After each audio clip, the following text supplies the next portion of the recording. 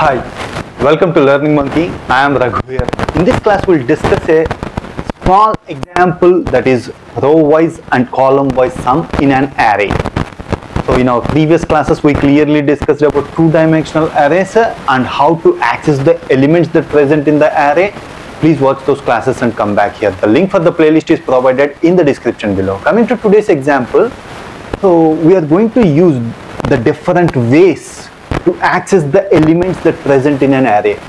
In many of the coding examples, if you understand the different ways to access the elements, uh, these are the things which we are going to use in many of the coding examples. That's why with simple example, we are going to understand one more way to access the elements in, the, in our array. Now coming to this example, so what's the output we need to take? Uh, this is a two-dimensional array. This is having three rows and four columns. We need to find the row-wise sum.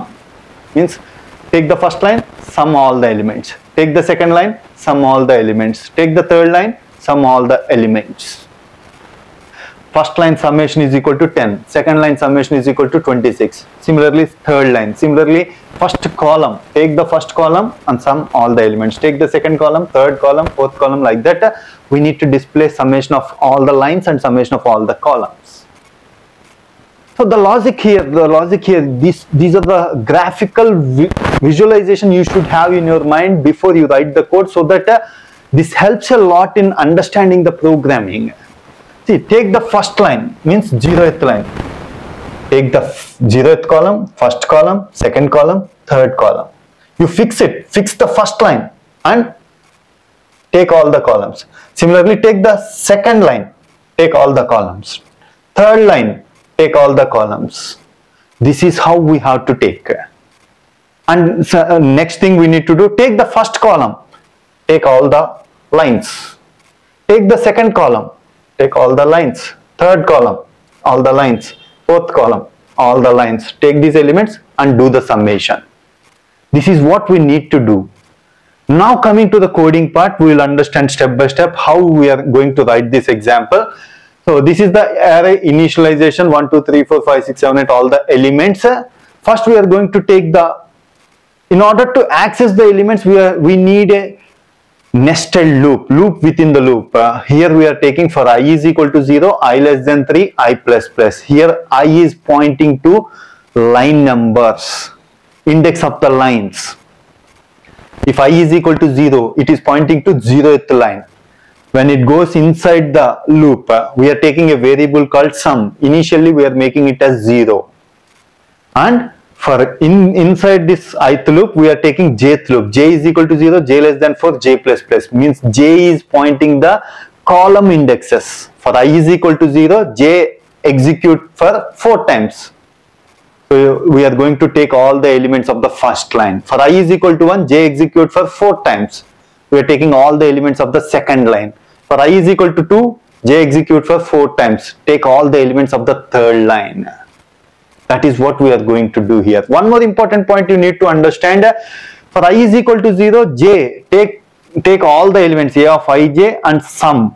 Do the sum. After coming out of this inner loop, we need to display the sum. i plus 1th line sum is some value. Again, for i is equal to 0, take all the elements of the first line, summation it and display it. Again, for i is equal to 1, again make sum is equal to 0 because we need to start the summation from the beginning for the second line. That's why sum is equal to 0 execute every time you go inside the i, ith loop. So this nested loop, loop within the loop is going to help us to identify all the elements in line wise. Similarly, we need to write one more loop, nested loop, loop within the loop. Here i is equal to 0, i less than 4, i plus plus. Here i is pointing to columns.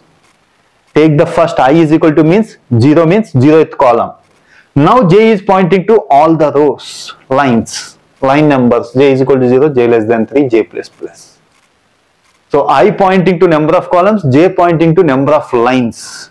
That's why here a of ji, not ij. Remaining logic is simple, similar. Whatever we have done above, the same logic. This is how we are going to take the summation of all the line elements and summation of all the column elements and we are going to display it. Hope you understand this example. This is how we need to access different ways to access the elements present in our multi-dimensional arrays or two-dimensional arrays or three-dimensional arrays.